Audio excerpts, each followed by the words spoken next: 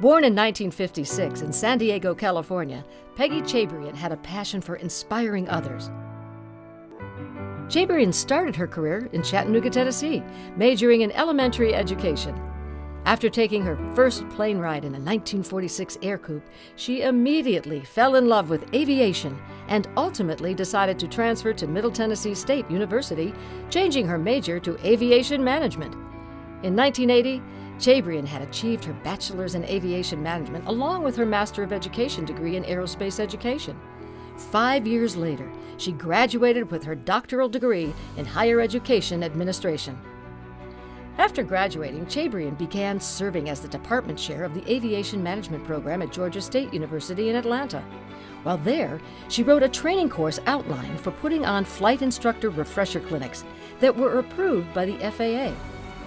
In 1986, Peggy Chabrian was hired as an associate professor for the Aeronautical Science Department at Embry-Riddle Aeronautical University in Daytona Beach, Florida.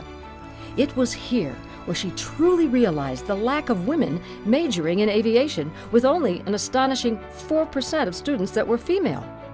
It was at this time that the idea formed to create a conference with a theme around women in aviation and their contributions. In March of 1990, the first Women in Aviation Conference was held in Prescott, Arizona through Embry-Riddle with 150 attendees. The conference has since grown to over 5,200 attendees.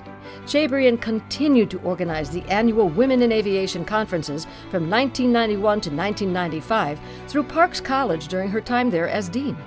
It wasn't until 1994 when the idea took hold to form the nonprofit organization we know today as Women in Aviation International. WAI focuses on supporting women in any aviation career or interest, like mechanics, air traffic controllers, aeronautical engineers, pilots, and more. In 1996, WAI became the only entity organizing the annual conferences and held their first one in Minneapolis, Minnesota. And I want you to know that you are important to the aviation industry. This conference and this organization is here to support you. You are the conference. You are women in aviation. Thank you. Northwest Airlines was the major sponsor of this event in Minneapolis, offering a type rating scholarship. The scholarships then continued to expand over the years, providing pilot certificates, aviation maintenance, leadership scholarships, and even a space scholarship. In 2017, WAI had reached the $10 million mark in scholarships awarded to more than 1,700 individuals, and in 2019, Chabrian retired from WAI.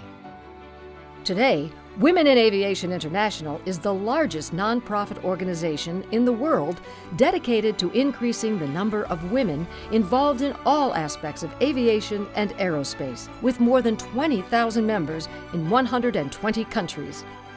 Now, please welcome educator and advocate Dr. Peggy Chabrian into the National Aviation Hall of Fame.